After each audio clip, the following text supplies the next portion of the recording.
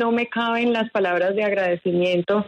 Primero, pues para Dios, eh, por haber puesto esto en mi camino. Soy víctima de biopolímeros. Eh, la semana que sigue me van a hacer una reconstrucción porque realmente quedé destruida y como yo quedé destruida, así hay millones de mujeres y hombres destruidos por esta enfermedad de biopolímeros. Hoy quiero hacer un agradecimiento enorme a un concejal que se me unió desde el principio a esta campaña, el doctor Rolando González. Cuando a mí me operan, yo decido hacer algo. Yo no me pregunté por qué me pasó esto a mí, sino para qué me pasó. Y dije, bueno, voy a, tratar de ayudar a, a, las personas que más pueda.